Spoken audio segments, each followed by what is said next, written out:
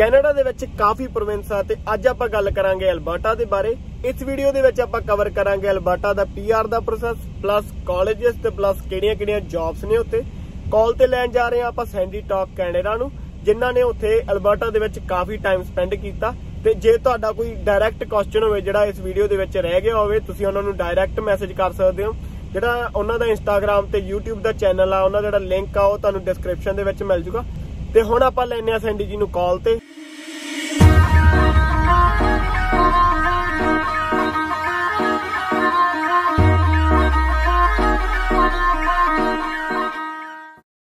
ਹੁਣ ਆਪਾਂ ਕਰਦੇ ਆ ਸੈਂਡੀ ਜੀ ਦਾ ਸਵਾਗਤ ਤੇ ਕੀ ਹਾਲ ਚਾਲ ਆ ਸੈਂਡੀ ਜੀ ਤੁਹਾਡੇ? ਸਤਿ ਸ਼੍ਰੀ ਅਕਾਲ ਵੀਰੇ ਵਧੀਆ ਠੀਕ ਠਾਕ ਤੁਸੀਂ ਦੱਸੋ?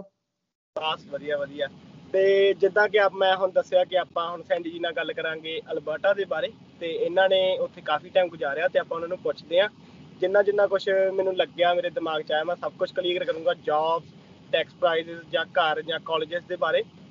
ਤੇ ਆਪਾਂ ਪਹਿਲਾਂ ਪੁੱਛਦੇ ਆ ਸੈਂਡੀ ਜੀ ਤੁਸੀਂ ਕਿੰਨਾ ਟਾਈਮ ਉੱਥੇ ਬਿਤਾ ਕੇ ਆਏ ਹੋ ਅਲਬਰਟਾ ਦੇ ਵਿੱਚ?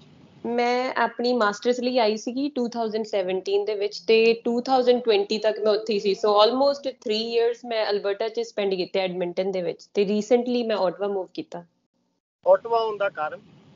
ਆਟਵਾ ਆਉਣ ਦਾ ਕਾਰਨ ਸੀਗਾ ਕਿ ਜਿਹੜੀ ਮੈਂ ਕੰਪਨੀ 'ਚ ਜੌਬ ਲੱਗੀ ਸੀਗੀ, ਉੱਥੇ ਤੇ ਉਹਨਾਂ ਦਾ ਆਰ&ਡੀ ਸੈਕਟਰ ਇੱਥੇ ਸੀ, ਤਾਂ ਉਹਨਾਂ ਨੇ ਮੇਰਾ ਟ੍ਰਾਂਸਫਰ ਕੀਤਾ, ਤਾਂ ਕਰਕੇ ਮੈਨੂੰ ਇੱਥੇ ਆਣਾ ਪਿਆ। ਓਕੇ ਸੋ ਹੁਣ ਆਪਾਂ ਗੱਲ ਕਰਦੇ ਹਾਂ ਕਾਲਜਸ ਦੇ ਬਾਰੇ। ਕਾਫੀ ਸਟੂਡੈਂਟਸ ਦੇ ਕੁਐਸਚਨਸ ਹੁੰਦੇ ਆ ਕਿ ਕਾਲਜਸ ਉਹਨਾਂ ਨੂੰ ਚਾਹੀਦੇ ਆ, ਪਰ ਚਾਹੀਦੇ ਉਹਨਾਂ ਨੂੰ ਟਾਈਮ ਪਾਸ ਵਾਲੇ ਆ, ਤੇ ਕਈਆਂ ਨੂੰ ਚਾਹੀਦੇ ਹੁੰਦੇ ਆ ਪ੍ਰੋਪਰ ਜਿਨ੍ਹਾਂ ਦੇ ਵਿੱਚ ਪ੍ਰੋਪਰ ਸਟੱਡੀ ਹੁੰਦੀ ਹੁੰਦੀ ਹੋਵੇ, ਹਨਾ? ਤੇ ਤੁਸੀਂ ਦੱਸ ਸਕਦੇ ਹੋ ਉੱਥੇ ਕਿਹੜੇ ਕਿਹੜੇ ਕਾਲਜਸ ਤੇ ਕਿੰਨੇ ਕੁ ਕਾਲਜਸ ਹੈਗੇ ਆ? ਹਾਂਜੀ ਐਕਚੁਅਲੀ ਕਾਲਜਸ ਤਾਂ ਉੱਥੇ ਬਹੁਤ ਨੇ ਕੰਪੈਰੀਟਿਵਲੀ ਹੁਣ ਜਿੱਦਾਂ ਤੁਸੀਂ ਦੋ ਕੈਟਾਗਰੀਜ਼ ਦੱਸੀਆਂ ਨੇ, ਦੋਨੋਂ ਕੈਟਾਗਰੀਜ਼ 'ਚ ਤੁਹਾਨੂੰ ਮਿਲ ਜਾਣਗੇ। ਜੇ ਤਾਂ ਤੁਸੀਂ ਬਹੁਤ ਪੜ੍ਹਾਈ ਨੂੰ ਲੈ ਕੇ ਫੋਕਸਡ ਹੋ, ਇੱਥੇ ਆ ਰਹੇ ਹੋ ਸਟੱਡੀ ਬੇਸ ਤੇ just for like studies actually ਤੁਸੀਂ ਸਟੱਡੀ ਲਈ ਆ ਰਹੇ ਹੋ ਦੈਨ ਤੁਸੀਂ ਵਧੀਆ ਯੂਨੀਵਰਸਿਟੀ ਕੰਸੀਡਰ ਕਰ ਸਕਦੇ ਹੋ। ਕੈਨੇਡਾ ਦੀ ਟਾਪ 5 ਯੂਨੀਵਰਸਿਟੀ ਦੇ ਵਿੱਚੋਂ ਇੱਕ ਯੂਨੀਵਰਸਿਟੀ ਜਿਹੜੀ ਨੰਬਰ 4 ਤੇ, ਉਹ ਹੈ ਯੂਨੀਵਰਸਿਟੀ ਆਫ ਅਲਬਰਟਾ ਉਹ ਤੁਸੀਂ ਕੰਸੀਡਰ ਕਰ ਸਕਦੇ ਹੋ, ਮੈਂ ਆਪਣੀ ਮਾਸਟਰਸ ਉੱਥੋਂ ਹੀ ਕੀਤੀ ਹੈ। ਇਸ ਤੋਂ ਇਲਾਵਾ ਵਧੀਆ ਕਾਲਜਸ ਵੀ ਨੇ, ਅਗਰ ਤੁਸੀਂ ਡਿਪਲੋਮਾ ਕਰਨਾ ਚਾਹੁੰਦੇ ਹੋ ਜਾਂ ਫਿਰ ਕਾਲਜ ਕੰਸੀਡਰ ਕਰਨਾ ਚਾਹ ਰਹੇ ਹੋ ਯੂਨੀਵਰਸਿਟੀ 'ਚ ਨਹੀਂ ਹੋ ਪਾ ਰਿਹਾ ਜਾਂ ਯੂਨੀਵਰਸਿਟੀ ਜਾਣਾ ਹੀ ਨਹੀਂ ਚਾਹੁੰਦੇ, ਤਾਂ ਤੁਸੀਂ ਐਡਮਿੰਟਨ ਦੇ ਵਿੱਚ ਬਹੁਤ ਵਧੀਆ ਕਾਲਜ ਆ ਨੇਟ ਕਾਲਜ ਉਹ ਸਿਲੈਕਟ ਕਰ ਸਕਦੇ ਹੋ। ਉੱਥੇ ਦੇ ਬੱਚੇ ਵਧੀਆ ਕੰਪਨੀਆਂ ਦੇ ਵਿੱਚ ਪਲੇਸ ਹੋ ਜਾਂਦੇ ਨੇ। ਅਗਰ ਤੁਸੀਂ ਉਹ ਫੋਕਸ ਲੈ ਕੇ ਆ ਰਹੇ ਹੋ ਕਿ ਬਾਅਦ 'ਚ ਸਟੱਡੀ ਕਰਕੇ ਐਕਸਪੀਰੀਅੰਸ ਲੈਣਾ, ਆਪਣੀ ਫੀਲਡ 'ਚ ਜੌਬ ਕਰਨੀ ਹੈ then that's one and the second is SAIT Southern Alberta Institute of Technology ਉਹ ਕੈਲਗਰੀ ਦੇ ਵਿੱਚ ਆ, ਤੇ ਇੱਥੇ ਪੜ੍ਹਾਈ ਔਖੀ ਹੁੰਦੀ ਹੈ ਆਬਵੀਅਸਲੀ ਜਦੋਂ ਤੁਸੀਂ ਫਿਊਚਰ ਦੀ ਸੋਚੋਗੇ ਕਿ ਅਗਰ ਵਧੀਆ ਕਾਲਜ ਹੋਵੇ ਤਾਂ ਉੱਥੇ ਪੜ੍ਹਾਈ ਥੋੜੀ ਸਟ੍ਰਿਕਟ ਹੁੰਦੀ ਆ, ਤੁਹਾਨੂੰ ਸਾਰੀਆਂ ਚੀਜ਼ਾਂ ਅਸਾਈਨਮੈਂਟਸ ਔਰ ਇਹ ਸਾਰੀਆਂ ਚੀਜ਼ਾਂ ਕਰਨੀਆਂ ਪੈਂਦੀਆਂ ਨੇ। ਬਟ ਫਿਰ ਕੋਆਪ ਵੀ ਵਧੀਆ ਲੱਗਦੀ ਆ, ਫਿਰ ਉਹਨਾਂ ਦੀ ਪਲੇਸਮੈਂਟਸ ਵੀ ਵਧੀਆ ਹੁੰਦੀਆਂ ਨੇ। So its pros and cons ਦੋਨੋਂ ਨੇ। ਸੇਟ ਤੁਸੀਂ ਕੰਸੀਡਰ ਕਰ ਸਕਦੇ ਹੋ। ਨਾਰਥਵੈਸਟ ਕਾਲਜ ਆ ਐਡਮਿੰਟਨ ਦੇ ਵਿੱਚ ਉਹ ਕੰਸੀਡਰ ਕਰ ਸਕਦੇ ਹੋ। ਬਾਕੀ ਮੈਂ ਇਹ ਨਹੀਂ ਕਹੂੰਗੀ ਕੰਮ ਚਲਾਉ ਕਾਲਜ ਕਿਉਂਕਿ ਕਿਸੇ ਵੀ ਕਾਲਜ ਨੂੰ ਆਪਾਂ ਇਹ ਨਹੀਂ ਕਹਿ ਸਕਦੇ ਵੀ ਚੰਗੀ ਹੈ, ਪੜ੍ਹਾਈ ਮਾੜੀ ਬਟ ਹਾਂ, ਜਿਹਨਾਂ ਦੀ ਕੰਪੈਰੀਟਿਵਲੀ ਈਜ਼ੀ ਆ ਪੜ੍ਹਾਈ ਜੇ ਤੁਸੀਂ ਕਹਿ ਸਕਦੇ ਹੋ ਵੀ ਹਾਂ, ਵੀ ਇਹ ਪੜ੍ਹਾਈ ਉਨੀ ਔਖੀ ਨਹੀਂ ਹੋਊਗੀ, ਤਾਂ ਸੀਡੀਆਈ ਕਾਲਜ ਹੈਗਾ ਜਾਂ ਐਡਮਿੰਟਨ ਦੇ ਵਿੱਚ? ਉਹ ਕੰਸੀਡਰ ਕਰ ਸਕਦੇ ਹੋ। ਰਾਬਰਟਸਨ ਕਾਲਜ ਦੇ ਵਿੱਚ ਡੋਮੈਸਟਿਕ ਸਟੂਡੈਂਟਸ ਨੇ ਬਟ ਇਨ ਫਿਊਚਰ ਉੱਥੇ ਮਤਲਬ ਇੰਟਰਨੈਸ਼ਨਲ ਸਟੂਡੈਂਟਸ ਵੀ ਆਣਗੇ ਉਹ ਵੀ ਕਾਲਜ ਤੁਸੀਂ ਕੰਸੀਡਰ ਕਰ ਸਕਦੇ ਹੋ। ਮੈਂ ਕਾਲਜ ਦੇ ਵਿੱਚ ਟੀਚ ਕਰਦੀ ਸੀਗੀ ਸਾਈਬਰ ਸਿਕਿਉਰਿਟੀ ਆਈਟੀ ਦੇ ਕੋਰਸਸ ਉਹ ਵਾਲੇ ਕਾਲਜ ਤੁਸੀਂ ਦੇਖ ਸਕਦੇ ਹੋ। ਤੇ ਇਹ ਸਾਰੇ ਕਾਲਜਸ ਤੇ ਯੂਨੀਵਰਸਿਟੀ ਬਾਰੇ ਆ ਬਟ ਟੋਰਾਂਟੋ 'ਚ ਜ਼ਿਆਦਾ ਕਾਲਜਸ ਨੇ, ਇੱਥੇ ਘੱਟ ਨੇ ਬਟ ਇਹ ਬਹੁਤ ਅਫੋਰਡੇਬਲ ਆ। ਸਟੂਡੈਂਟਸ ਨੂੰ ਮੇਰੇ ਹਿਸਾਬ ਨਾਲ ਜੇ ਇੱਕ ਵਾਰੀ ਕੰਪੇਅਰ ਕਰੋ ਆਪਸ਼ਨਸ ਤਾਂ ਤੁਹਾਨੂੰ ਇੱਕ ਵਾਰੀ ਜ਼ਰੂਰ ਸੋਚਣਾ ਚਾਹੀਦਾ ਅਲਬਰਟਾ ਬਾਰੇ। ਓਕੇ ਤੇ ਜਿਹੜੇ ਹੁਣ ਤੁਸੀਂ ਕਾਲਜਸ ਦੱਸੇ ਆ ਟਾਈਮ ਪਾਸ ਵਾਲੇ, ਇਹ ਛੋਟੇ ਕੈਂਪਸ ਆ ਕਿ ਵੱਡੇ ਮੇਨ ਮੇਨ ਕੈਂਪਸ ਆ ਇਹ? ਟਾਈਮ ਪਾਸ ਤਾਂ ਮੈਂ ਐਗਜ਼ੈਕਟਲੀ ਨਹੀਂ ਕਹੂੰਗੀ ਹਨਾ ਵੀ ਜਿਹੜੇ ਸਟੂਡੈਂਟਸ ਉੱਥੇ ਪੜ੍ਹ ਰਹੇ ਨੇ ਉਹ ਕਹਿਣਗੇ ਵੀ ਹਾਂ ਵੀ ਇਦਾਂ ਆ। ਬਟ ਹਾਂ ਕੰਪੈਰੀਟਿਵਲੀ ਜਿੱਦਾਂ ਈਜ਼ੀ ਸਟੱਡੀ ਹੈ ਹਨਾ ਇਹਨਾਂ ਦੇ ਕੈਂਪਸਸ ਹੈਗੇ ਨੇ ਕੈਲਗਰੀ 'ਚ ਵੀ ਹੈਗਾ ਸੀਡੀਆਈ ਕਾਲਜ ਦਾ ਕੈਂਪਸ ਐਡਮਿੰਟਨ 'ਚ ਵੀ ਹੈਗਾ ਦੈਨ ਆਈ ਗੈਸ ਸੀਡੀਆਈ ਦਾ ਮੌਂਟਰੀਅਲ 'ਚ ਵੀ ਹੈਗਾ ਆ। ਮਤਲਬ ਇਹਨਾਂ ਦੇ ਆਲ ਓਵਰ ਕੈਨੇਡਾ ਕੈਂਪਸਸ ਹੈਗੇ ਨੇ ਤਾਂ ਇਹ ਤੁਸੀਂ ਕੰਸੀਡਰ ਕਰ ਸਕਦੇ ਹੋ। ਰੀਵਸ ਕਾਲਜ ਵੀ ਆ ਉਹ ਵੀ ਕਾਲਜ ਵਧੀਆ ਆ ਉੱਥੋਂ ਵੀ ਹੋ ਜਾਂਦਾ ਆ। ਤੇ ਇੱਕ ਗੱਲ ਹੋਰ, ਜਿਵੇਂ ਹੁਣ ਐਡਮੰਟਨ ਦਾ ਕਾਫੀ ਘੱਟ ਲੋਕਾਂ ਨੂੰ ਪਤਾ ਹੋਊਗਾ। ਤੁਸੀਂ ਦੱਸ ਸਕਦੇ ਹੋ ਕਿ ਇਹ ਕੈਲਗਰੀ ਤੋਂ ਕਿੰਨੀ ਕੁ ਦੂਰ ਆ? ਕੈਲਗਰੀ ਬਾਰੇ ਬਹੁਤ ਲੋਕਾਂ ਨੂੰ ਪਤਾ। ਹਾਂਜੀ ਐਕਚੁਅਲੀ ਨਾ ਜਦੋਂ ਸਟਾਰਟਿੰਗ 'ਚ ਅਲਬਰਟਾ ਦੀ ਕੈਪੀਟਲ ਬਣਨਾ ਸੀ ਤਾਂ ਕੈਲਗਰੀ ਨਹੀਂ ਬਣਨਾ ਸੀਗਾ ਬਟ ਕੋਈ ਸਟੋਰੀ ਇਹਦੇ ਪਿੱਛੇ, ਉਹ ਆਪਾਂ ਹੁਣ ਸ਼ੇਅਰ ਕਰਾਂਗੇ ਤਾਂ ਵੀਡੀਓ ਲੰਬੀ ਹੋ ਜਾਊਗੀ। ਐਡਮਿੰਟਨ ਕੈਪੀਟਲ ਬਣਿਆ। ਐਡਮਿੰਟਨ 'ਚ ਮਤਲਬ ਇਹ ਕੈਪੀਟਲ ਹੈ ਅਲਬਰਟਾ ਦੀ ਇੱਥੇ ਇੰਟਰਨੈਸ਼ਨਲ 에ਅਰਪੋਰਟ ਵੀ ਹੈਗਾ। ਕੈਲਗਰੀ ਤੇ ਐਡਮਿੰਟਨ ਦਾ 4 ਘੰਟੇ ਦਾ ਡਿਫਰੈਂਸ ਆ। ਤੇ ਐਡਮਿੰਟਨ ਦੇ ਵਿੱਚ ਤੁਹਾਨੂੰ ਜ਼ਿਆਦਾ ਜਿੱਦਾਂ ਆਈਟੀ ਜੌਬਸ ਨਹੀਂ ਮਿਲਣਗੀਆਂ ਆਇਲ ਐਂਡ ਗੈਸ ਸੈਕਟਰ ਹੈਗਾ ਜ਼ਿਆਦਾ ਆਈਟੀ ਜੌਬਸ ਕੈਲਗਰੀ ਦੇ ਵਿੱਚ ਨੇ। ਕੈਲਗਰੀ ਥੋੜਾ ਜਿਹਾ ਐਕਸਪੈਂਸਿਵ ਵੀ ਐਡਮਿੰਟਨ ਕੰਪੇਅਰ ਕਰੀਏ ਤਾਂ ਬਟ ਕਾਲਜਸ ਯੂਨੀਵਰਸਿਟੀਆਂ ਦੋਨੋਂ ਜਗ੍ਹਾ ਤੁਹਾਨੂੰ ਮਿਲ ਜਾਣਗੀਆਂ। ਓਕੇ ਬਹੁਤਾ ਸਮਾਂ ਨਾ ਖਰਾਬ ਕਰਦੇ ਹੋਏ ਹੁਣ ਆਪਾਂ ਗੱਲ ਕਰਦੇ ਹਾਂ ਜੌਬਸ ਦੇ ਬਾਰੇ। ਕਿ ਜੌਬਸ ਕਿੰਨੀਆਂ ਕਿ ਨੇ ਐਡਮੰਟਨ ਦੀਆਂ ਵੀ ਦੱਸ ਦਿਓ ਤੇ ਕੈਲਗਰੀ ਦੀ ਵੀ ਤੁਸੀਂ ਦੱਸ ਦਿਓ।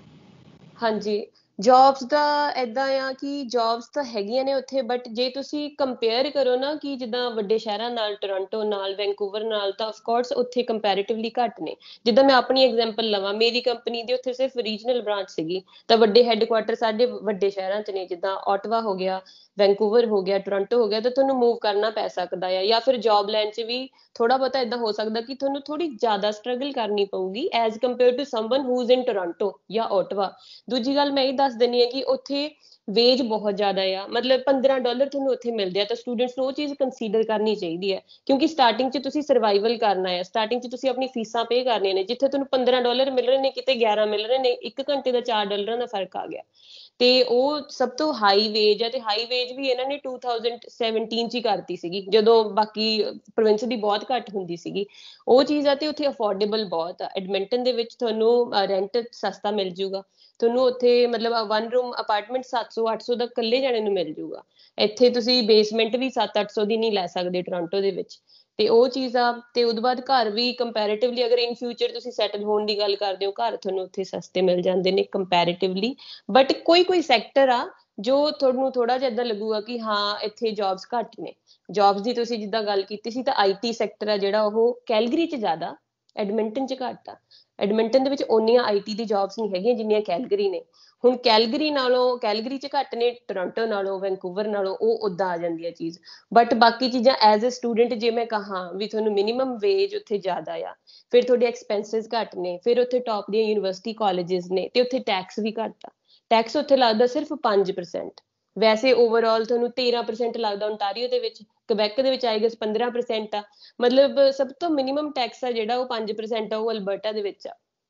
ਜੇ ਮੈਂ ਆਪਣੇ ਬਾਰੇ ਗੱਲ ਕਰਾਂ ਨੋਵਾ ਸਕੋਸ਼ੀਆ ਦੇ ਵਿੱਚ 15% ਆ ਤੇ ਮੈਨੂੰ ਲੱਗਦਾ ਆਪਾਂ ਫਿਰ ਹਰੇਕ 1000 ਡਾਲਰ ਦੇ ਪਿੱਛੇ 100 ਡਾਲਰ ਆਪਾਂ ਸੇਵ ਕਰ ਰਹੇ ਆ।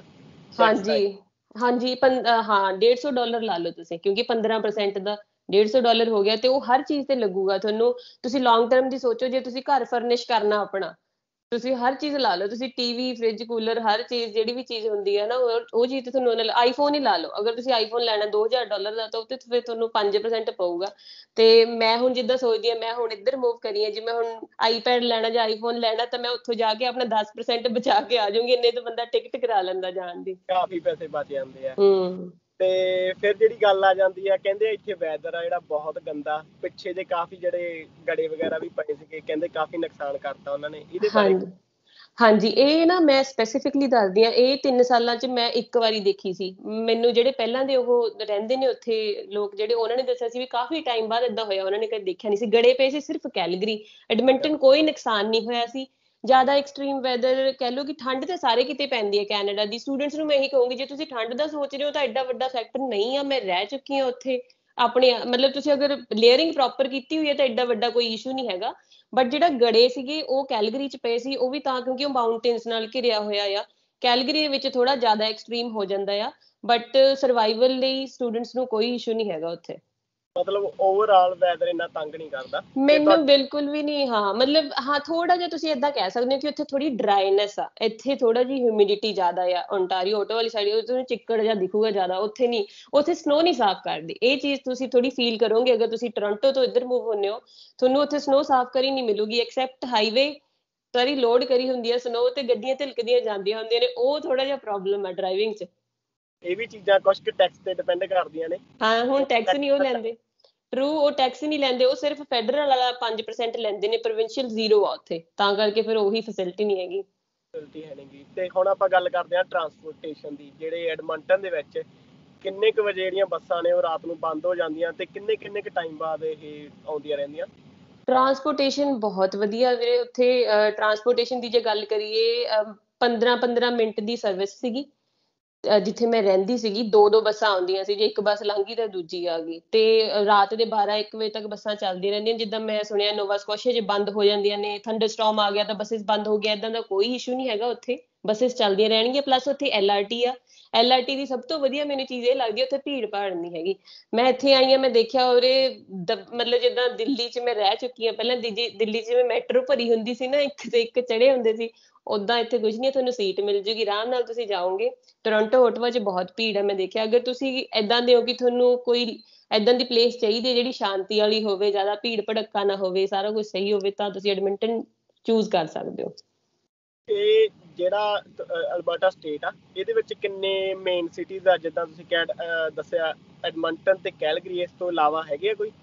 ਇਸ ਤੋਂ ਇਲਾਵਾ ਮੈਨੂੰ ਜਿਹੜੇ ਮੇਲ ਆ ਨਾ ਇਹ ਦੋ ਹੀ ਆ ਕੈਲਗਰੀ ਐਡਮਿੰਟਨ। ਤੁਹਾਨੂੰ ਜਿਹੜੀਆਂ ਜੌਬਸ ਮਿਲਣਗੀਆਂ ਟੌਪ ਦੀਆਂ ਤੁਸੀਂ ਸਰਚ ਕਰੋਗੇ ਲਿੰਕਡਇਨ ਤੇ ਇੰਡੀਡ ਤੇ ਤੁਹਾਨੂੰ ਕੈਲਗਰੀ ਐਡਮਿੰਟਨ ਹੀ ਆਉਣਗੇ। ਜ਼ਿਆਦਾਤਰ ਲੋਕੀ ਪ੍ਰੈਫਰ ਵੀ ਉੱਥੇ ਰਹਿਣਾ ਕਰਦੇ ਕਿਉਂਕਿ ਫਿਰ ਅੱਗੇ ਕਾਲਜਸ ਸਕੂਲਸ ਸਾਰੀ ਵਧੀਆ ਫੈਸਿਲਿਟੀਆਂ ਫਿਰ ਇਹ ਦੋ ਵੱਡੇ ਸਿਟੀਜ਼ ਮਿਲਦੀਆਂ ਤੁਹਾਨੂੰ। ਓਕੇ ਤੇ ਜਿੱਦਾਂ ਤੁਸੀਂ ਦੱਸਿਆ ਕਿ ਉੱਥੇ ਜਿਹੜੀ ਮਤਲਬ ਪੋਪੂਲੇਸ਼ਨ ਆਬਵੀਅਸਲੀ ਘੱਟ ਹੋਊਗੀ, ਉਧਰ ਟੋਰਾਂਟੋ ਨਾਲ ਤਾਂ ਟੋਰਾਂਟੋ ਦਾ ਫੁੱਲ ਆ ਨਾ, ਤੁਸੀਂ ਦੱਸਿਆ ਭੀੜ ਵਗੈਰਾ ਕਾਫੀ ਆ, ਤੇ ਆਬਵੀਅਸਲੀ ਗੱਲ ਉੱਥੇ ਘਰ ਵੀ ਸਸਤੇ ਹੋਣਗੇ। ਘਰਾਂ ਦੇ ਪ੍ਰਾਈਸ ਦਾ ਕੋਈ ਐਸਟੀਮੇਟ ਉੱਥੇ? ਹਾਂਜੀ, ਉੱਥੇ ਘਰਾਂ ਦਾ ਮੈਨੂੰ ਆਈਡੀਆ ਤਾਂ ਹੈ, ਕਿਉਂਕਿ ਜਿਹੜੇ ਮੇਰੇ ਫਰੈਂਡਸ ਵਗੈਰਾ ਆ, ਉਹਨਾਂ ਨੇ ਰੀਸੈਂਟਲੀ ਲਿਆ ਸੀਗਾ, ਉੱਥੇ ਕੋਂਡੋ ਤੁਹਾਨੂੰ ਆਰਾਮ ਨਾਲ 1.5 2 ਲੱਖ ਚ ਕੋਂਡੋ ਮਿਲ ਜੂਗਾ। ਤੇ ਜੇ ਤੁਸੀਂ ਟਾਊਨ ਹਾਊਸ ਦੀ ਗੱਲ ਕਰਦੇ ਹੋ ਜਾਂ ਸਿੰਗਲ ਹਾਊਸ ਦੀ ਗੱਲ ਕਰਦੇ ਹੋ, ਤਾਂ ਸਿੰਗਲ ਹਾਊਸ ਉੱਤੇ ਤੁਹਾਨੂੰ 5 5 ਕੇ ਮਤਲਬ 5 ਲੱਖ 5-6 ਲੱਖ ਦਾ ਤੁਹਾਨੂੰ ਵਧੀਆ ਮਿਲ ਜਾਣਾ ਸਿੰਗਲ ਹਾਊਸ ਪਰ ਉਹੀ ਜੇ ਤੁਸੀਂ ਇੱਧਰ ਓਟ ਵਾਲੀ ਸਾਈਡ ਦੇਖਦੇ ਹੋ ਉਹੀ ਤੁਹਾਨੂੰ 8-9 ਲੱਖ ਦਾ ਮਿਲੂਗਾ ਟੋਰਾਂਟੋ 'ਚ ਮਿਲੀਅਨ ਦਾ ਮਿਲੂਗਾ ਉਹੀ ਫ਼ਰਕ ਆ ਜਾਂਦਾ ਆਲਮੋਸਟ ਡਬਲ ਨੇ ਚੀਜ਼ਾਂ। ਪਲੱਸ ਉਹਦੇ ਵਿੱਚ ਜਿਹੜਾ ਆਪਾਂ ਨੂੰ ਟੈਕਸ ਆ ਆਪਾਂ ਉੱਥੇ 1.5 ਲੱਖ ਦੇ ਟੈਕਸ ਸੇਵ ਕਰ ਸਕਦੇ ਆ ਹਾਂਜੀ।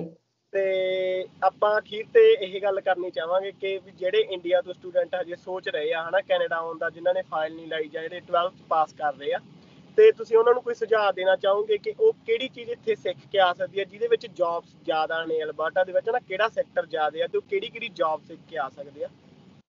ਜੌਬਸ ਦਾ ਜਿੱਦਾਂ ਮੈਂ ਆਈਟੀ ਚ ਆ ਤਾਂ ਮੈਂ ਆਈਟੀ ਦੀ ਜ਼ਿਆਦਾ ਇਨਫੋਰਮੇਸ਼ਨ ਦੇ ਪਾਉਂਗੀ ਆਪਣੀ ਫੀਲਡ ਦੀ। ਅਗਰ ਉਹ ਇੰਡੀਆ ਤੋਂ ਆ ਰਹੇ ਆ ਤਾਂ ਮੇਰੇ ਹਿਸਾਬ ਨਾਲ ਉਹਨਾਂ ਨੂੰ ਜਿਹੜੇ ਸੀਸੀਐਨਏ ਇੱਕ ਕੋਰਸ ਹੁੰਦਾ ਆਈਟੀ ਦਾ, ਉਹ ਕਰ ਲੈਣਾ ਚਾਹੀਦਾ। ਸੀਸੀਐਨਏ ਨੈਟਵਰਕਿੰਗ ਥੋੜਾ ਬਹੁਤਾ ਤੁਸੀਂ ਸਿੱਖ ਕੇ ਉਹਦੇ ਨਾਲ ਤੁਹਾਡੀ ਐਂਟਰੀ ਲੈਵਲ ਉਹ ਸਰਟੀਫਿਕੇਸ਼ਨ ਹੁੰਦੀ ਹੈ ਸਰਟੀਫਿਕੇਸ਼ਨਸ ਕਰੋਗੇ ਤਾਂ ਇੱਥੇ ਤੁਹਾਨੂੰ ਈਜ਼ੀ ਹੋ ਜਾਂਦਾ ਐਂਟਰ ਕਰਨਾ। ਤੇ ਇੱਕ ਹੋਰ ਮੈਂ ਚੀਜ਼ ਕਹੂੰਗੀ ਕਿ ਉਹ ਆਪਣੀ ਨਾ ਪਬਲਿਕ ਸਪੀਕਿੰਗ ਤੇ ਥੋੜਾ ਜਿਹਾ ਕੰਮ ਕਰਨ। ਮਤਲਬ ਆਪਾਂ ਇੰਡੀਆ ਸਿਰਫ ਇੰਗਲਿਸ਼ ਉਦੋਂ ਬੋਲਦੇ ਜਦੋਂ ਆਪਾਂ ਨੂੰ ਕਲਾਸ 'ਚ ਬੋਲਣੀ ਪੈਂਦੀ ਹੈ ਜਾਂ ਪੇਪਰ ਦੇਣਾ ਪੈਂਦਾ ਆ। ਆਇਲਸ ਲਈ ਸਿਰਫ ਨਾ ਸੋਚੋ ਕਿ ਆਇਲਸ ਹੋਗੀ ਮਤਲਬ ਕਿਉਂਕਿ ਇੱਥੇ ਜੌਬਸ ਈਜ਼ੀ ਹੋ ਜਾਂਦੀਆਂ ਨੇ ਤੁਹਾਡੇ ਲਈ। ਜਿੱਦਾਂ ਮੈਂ ਸੇਲਸ 'ਚ ਜੌਬ ਕਰਦੀ ਸੀ, ਅਗਰ ਤੁਸੀਂ ਪ੍ਰੋਪਰਲੀ ਪਬਲਿਕ ਸਪੀਕਿੰਗ ਤੁਹਾਡੀ ਸਹੀ ਹੈ ਤੁਹਾਨੂੰ ਬਹੁਤ ਹੈਲਪ ਕਰਦੀ ਹੈ ਇੰਟਰੈਕਟ ਕਰਦੇ ਹੋ ਲੋਕਾਂ ਨਾਲ ਤੇ ਨੈਟਵਰਕਿੰਗ ਬਹੁਤ ਜ਼ਰੂਰੀ ਆ। ਨੈਟਵਰਕਿੰਗ ਥੋੜੀ ਜੀ ਸਿੱਖੋ। ਇੱਥੇ ਜੌਬਸ ਨੈਟਵਰਕਿੰਗ ਦੇ ਹਿਸਾਬ ਨਾਲ ਮਿਲਦੀਆਂ ਨੇ ਕੈਨੇਡਾ 'ਚ। ਤਾਂ ਮੈਂ ਸੁਜੈਸਟ ਕਰੂੰਗੀ ਇਸ ਚੀਜ਼ ਨੂੰ। ਆ ਬਹੁਤ ਵਧੀਆ ਪੁਆਇੰਟ ਆ ਵੈਸੇ। ਆਲਮੋਸਟ ਹਰੇ ਸਾਰੇ ਕੈਨੇਡਾ ਦੇ ਵਿੱਚ ਹੀ ਇਹ ਤੁਹਾਡੇ ਚੀਜ਼ ਕੰਮ ਆ ਸਕਦੀ ਆ ਤੇ ਟਰਾਈ ਕਰੋ ਕਿ ਪਬਲਿਕ ਸਪੀਕਿੰਗ ਦਾ ਬਾਰੇ ਜ਼ਰੂਰ ਕੁਝ ਨਾ ਕੁਝ ਸਿੱਖੋ। ਤੇ ਮੇਰੇ ਹਿਸਾਬ ਨਾਲ ਸਾਰੀਆਂ ਹੀ ਗੱਲਾਂ ਦਾ ਆਪਾਂ ਨੂੰ ਜਵਾਬ ਮਿਲ ਗਿਆ। ਤੇ ਮੈਂ ਧੰਨਵਾਦ ਕਰਦਾ ਸੈਂਡੀ ਜੀ ਦਾ ਸਾਡੀ ਵੀਡੀਓ ਤੇ ਬਣੇ ਰਹਿਣ ਦੇ ਲਈ। ਤੇ ਮੈਂ ਤੇ ਇੱਕ ਗੱਲ ਹੋਰ ਇਹਨਾਂ ਦਾ ਇੱਕ ਚੈਨਲ ਆ ਵੈਸੇ ਬਹੁਤ ਲੋਕਾਂ ਨੇ ਦੇਖਿਆ ਹੋਣਾ YouTube ਦੇ ਉੱਤੇ ਸੈਂਡੀ ਟਾਕ ਕੈਨੇਡਾ। ਜੇ ਤੁਸੀਂ ਨਹੀਂ ਦੇਖਿਆ ਤੇ ਮੈਂ ਡਿਸਕ੍ਰਿਪਸ਼ਨ 'ਚ ਲਿੰਕ ਦੇ ਦੂੰਗਾ। ਇਹ ਕੈਨੇਡਾ ਦੀ ਲਾਈਫ ਦੇ ਬਾਰੇ ਤੇ ਪਿੱਛੇ ਜੇ ਇਹਨਾਂ ਦੀ ਰੀਸੈਂਟਲੀ ਵੀਡੀਓ ਆਈ ਸੀ ਕਿਊਬੈਕ ਦੇ ਬਾਰੇ ਵੀ।